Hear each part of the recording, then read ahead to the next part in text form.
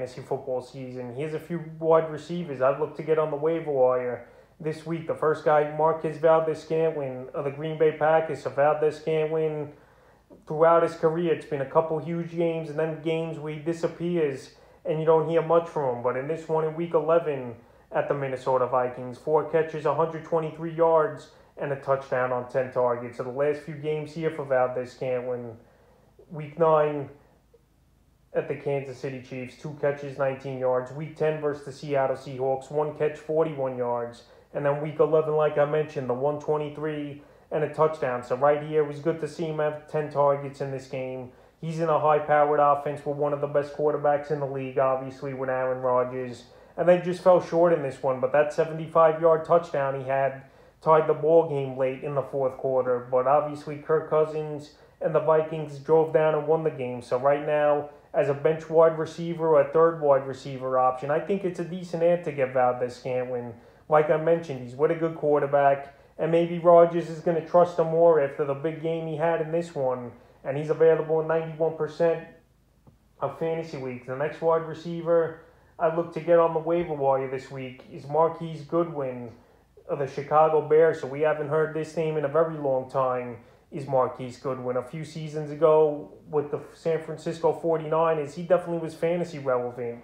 But ever since then, he really's bounced around the league and has done nothing. But in this game in week 11, he had a big catch from Andy Dalton with about a minute, a minute and a half left to put the Bears up on top in the fourth quarter. He had four catches, 104 yards, and a touchdown versus the Baltimore Ravens. A good win. He hasn't done much this season. The last few games for him, week eight, versus San Francisco. Two catches, 32 yards. Week 9 at Pitt, one catch, 50 yards. And then week 11, the breakout game for him. So right here, week 12, it looks like Dalton's going to start, especially the quick turnaround here for the Bears, playing on Thanksgiving.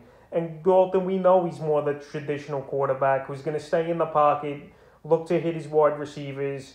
And if Allen Robinson's out again on Thursday, Marquise Goodwin's going to have a decent role once again and he's definitely still a deep ball threat. This guy could burn secondaries. He could be a playmaker. And right now, he's available in 100% of fantasy leagues. And he's definitely a wide receiver I would take a look at on the wire this week. The next wide receiver is Nelson Agholor of the New England Patriots. And Nelson Agholor, he's been up and down for him this season with this Patriot team.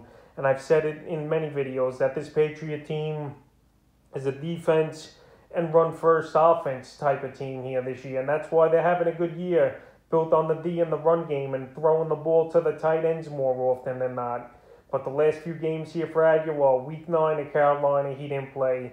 Week 10 versus Cleveland, two catches, 21 yards. And week 11 at the Falcons, five catches, 40 yards, and a touchdown. So right here in week 12, another good matchup for Agholor versus the Tennessee Titans that give up the most fantasy points to wide receivers on the season. We just saw the Houston Texans go into Tennessee and beat them with the same type of operation. So right now, Agholor is available in a whopping 79% of fantasy leagues. And if you need wide receiving help, I think he's a good add this week on the wide. The next wide receiver is Jamison Crowder of the New York Jets. So the Jets here, they look pretty decent, the offense. I know Miami's not a great team as well. But Crowder had one of the better games of the season for him six catches, 44 yards, and a touchdown with Joe Flacco behind center in this one. So the last few games here for Crowder week nine at the Colts, five catches, 38 yards.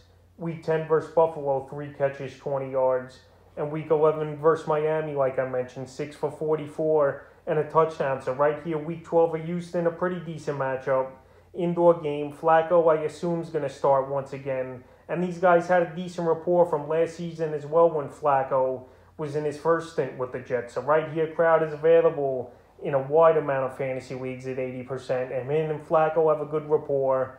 And he still can make some plays, in my opinion, is Crowder. And he's definitely worth an add, especially with a good matchup in Week 12 and the fifth and final wide receiver I look to get on the waiver wire this week's Brooke Akeen. So right here, Nick Westbrook-Ikhine had a good ball game in week 11 here for the Tennessee Titans. Seven catches for 107 yards. And right here, the wide receivers are dropping like flies right now for this Titan team.